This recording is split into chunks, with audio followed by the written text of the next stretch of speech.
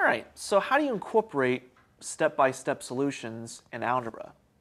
And why do you do it? Hi, I'm Jimmy, and we're here to answer those questions right now. The reason you want to go through the solution step by step, whether it be in the back of the book, if they give you that, or to show it in your work, as your teacher might require you to do, is because in math, it's all about the little things. One missed sign, one dropped number, unfortunately will cause the entire problem to be wrong. And so what you want to do is just follow each step as closely as possible. That way you could see what you're doing, and if you happen to make a mistake, you can go back and correct every step. Take a look at this example here. You're being asked to, for the expression of 3x squared plus 4x minus y, to be able to plug in 2 where the x is and negative 1 where the y is.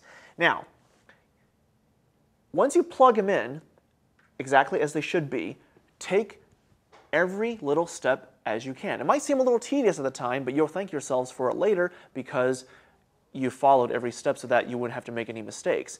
And with simplifying, one of the most important things is to follow the order of operations. Now, if you notice from this step to this step, over here, we took care of the exponents because the exponents are pretty high up in the order of operations.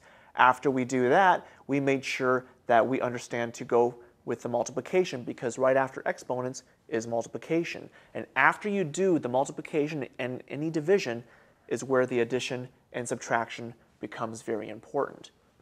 Now, when it comes to solving equations, with 7x minus 10 is equal to 11, when you're solving for variables, it's very important that you get the non-related terms over to the other side.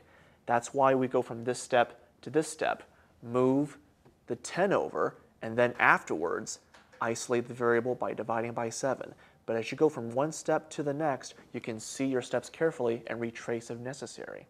So, I'm Jimmy, and that's how you do the algebra problems step by step.